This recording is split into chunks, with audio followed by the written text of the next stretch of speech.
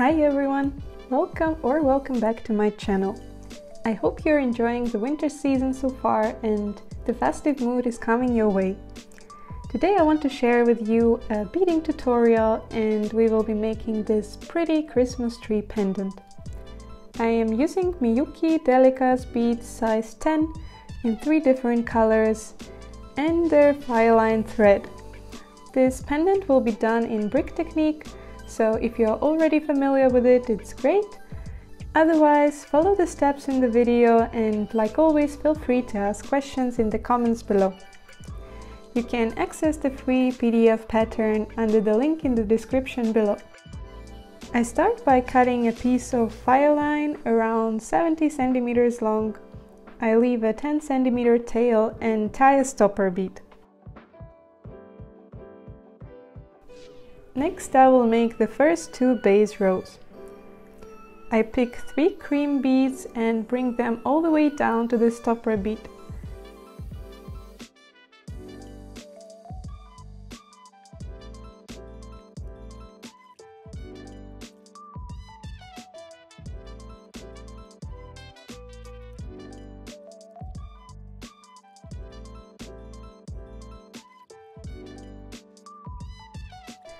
I then put my needle through the first bead. You should get a triangle-like shape where all beads are rotated horizontally. You might need to do some adjusting here.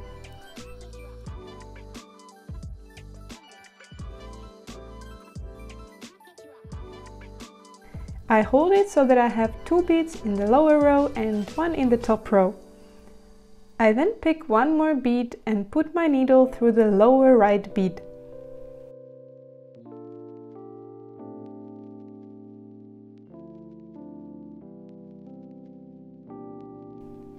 Next I pick another bead and this time thread through the upper bead on the right side.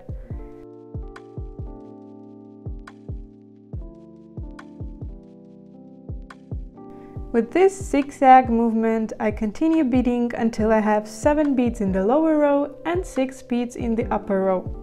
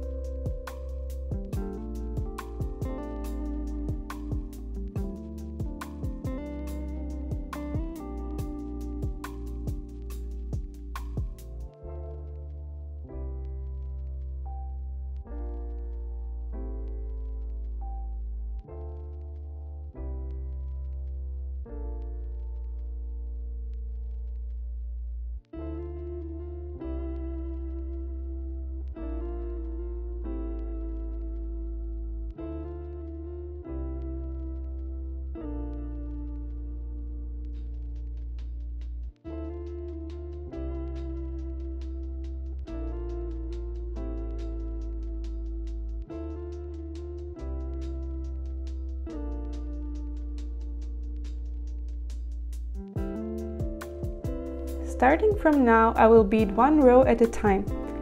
Instead of going through beads, I will thread my needle through loops in between beads of the previous row. And since according to my design the next row is shorter than the previous, I will do a so-called decrease. I pick two beads and put my needle through a space between second and third beads of the previous row. I now have two beads on my thread and I return the needle up through the left one.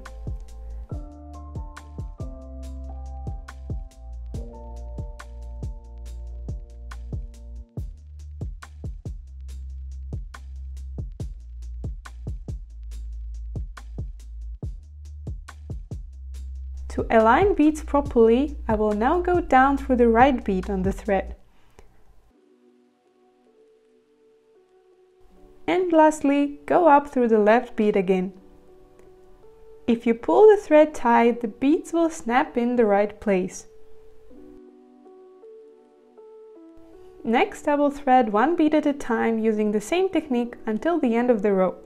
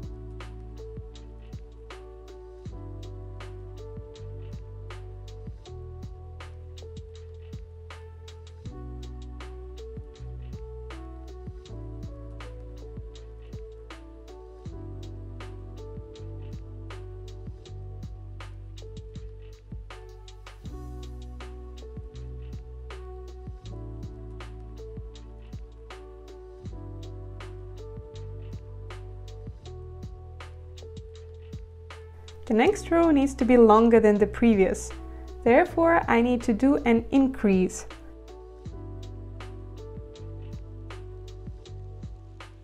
I pick two beads and this time put my needle through the space between first and second bead of the previous row.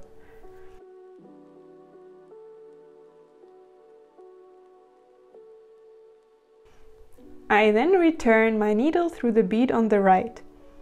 As you can see, they snap perfectly right away, so no other steps are needed. I continue adding beads until I run out of loops.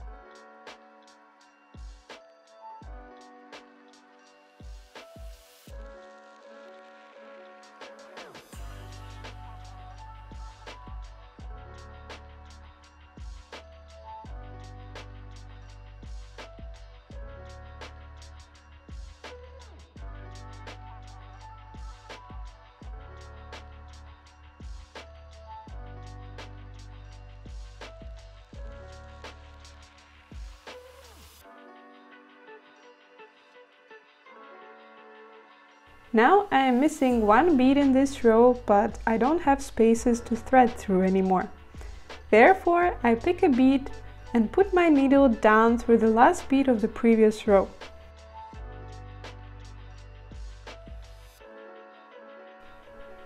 I return up through its neighbor.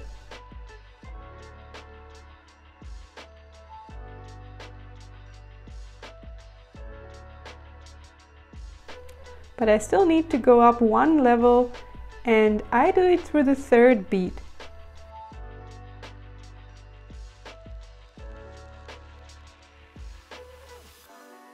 Next I go down through the second bead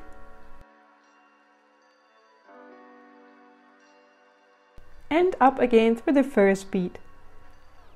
Now that I am back to the starting position, I can continue with the next row. Next row is a decrease and from here you can follow the design and apply increase or decrease to each of the rows until one row before the top.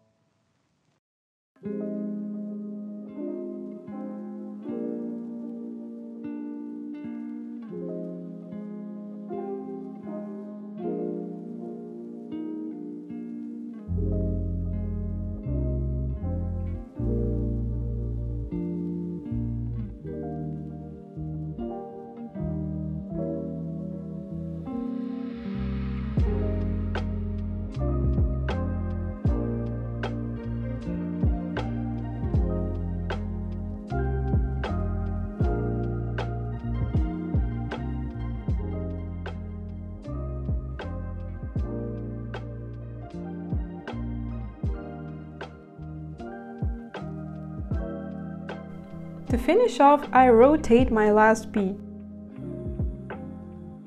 This will help me to attach a ring later on.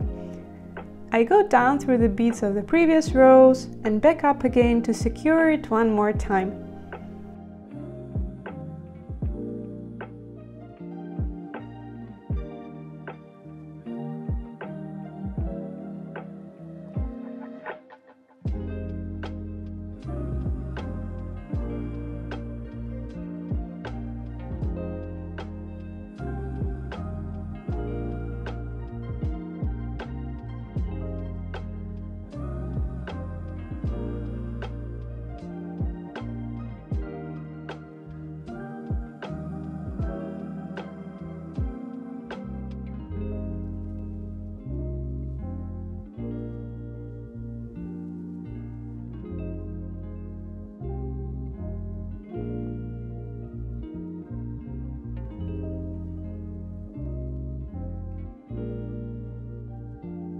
I then make my way down to the bottom where I will attach my tree trunk.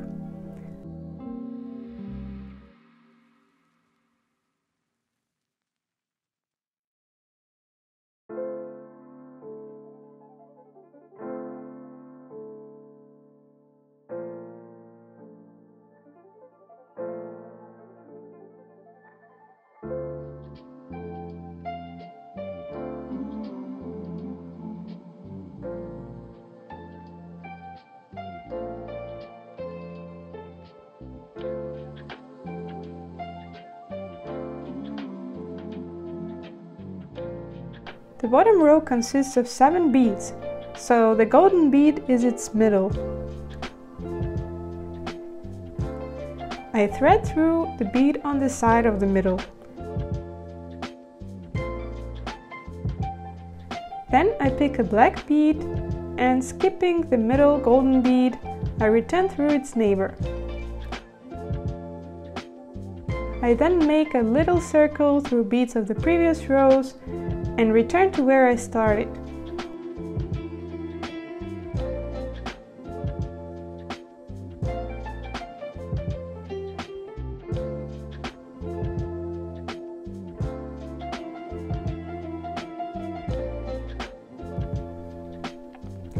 This time I go through the black bead, pick another black bead on my thread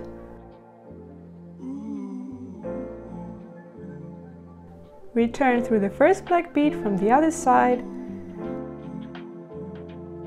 and back through the bead of the base row.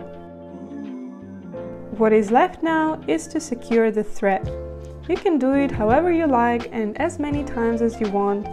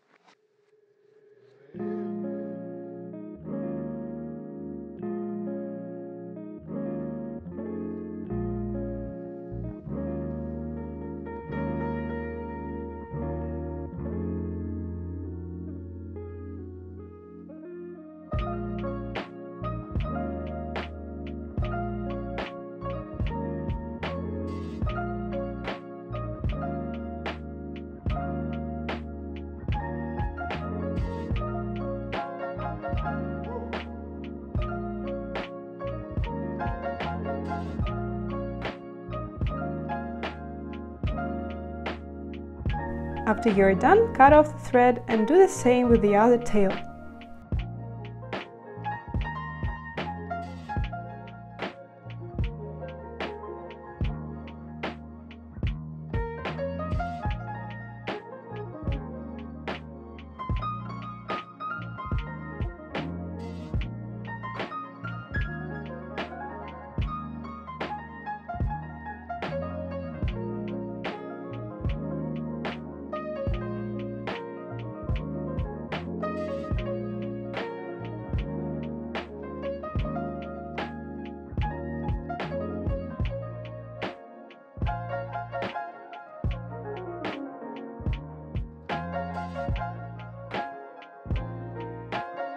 That's it. This pendant can be a necklace, earrings, or a keyring accessory, whatever you like.